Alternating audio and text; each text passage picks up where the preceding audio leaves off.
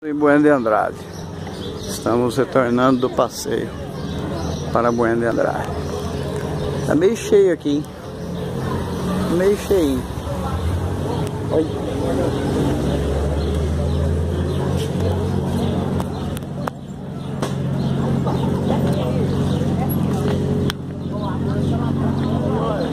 Antes os caras que o Léo fecha um dia de domingo pra cortar. Ah